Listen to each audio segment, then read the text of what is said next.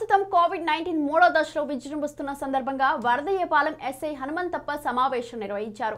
ఈ సందర్భంగా ఆయన మాట్లాడుతూ వరదయ్యపాలెం మండలంలో ప్రజలందరూ కోవిడ్ నిబంధనలు ఖచ్చితంగా పాటించాలని అందరూ మాస్కులు ధరించాలని సామాజిక దూరాన్ని పాటించాలని ముఖ్యంగా వరదయ్యపాలెం మండల కేంద్రంలో వివిధ వ్యాపారస్తులు తమ వద్దకు వచ్చే కస్టమర్లను సామాజిక దూరం పాటించమని అవగాహన కల్పిస్తూ వ్యాపారాలు చేసుకోవాలని ముఖ్యంగా ప్రైవేట్ హాస్పిటల్లో కూడా బాధ్యతగా ప్రజలకు నిబంధనలు పాటించాలని సూచించారు.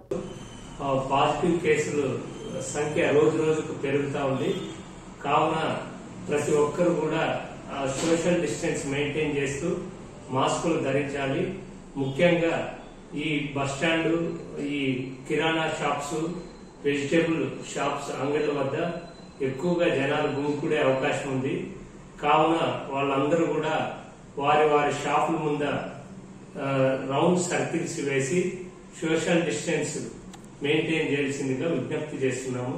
అదే అదే కాకుండా మండలంలోని ప్రభుత్వ కార్యాలయాల్లో కూడా కోవిడ్ నిబంధనలు పాటించాల్సిందిగా విజ్ఞప్తి చేస్తున్నాము. ముఖ్యంగా పిల్లలు గర్భిణీలు ముసిరివాళ్ళు శ్వాసకోశ సంబంధిత వ్యాధులు ఉండేవాళ్ళు ప్రతి ఒక్కరు కూడా మాస్క్ ధరించి శానిటైజ్ చేసుకుంటూ వాళ్ళ ఆరోగ్యాన్ని కాపాడాల్సిందిగా మనవి చేస్తున్నాము. ఈ కోవిడ్ నిబంధనలు ఎవరైతే ధరించకుండా సోషల్ డిస్టెన్స్ మెయింటైన్ చేయకుండా ఉంటారు. వాళ్ళ మీద కఠిన చర్యలు తీసుకుని వారిపైన జరిమానా విధించడం జరుగుతుంది.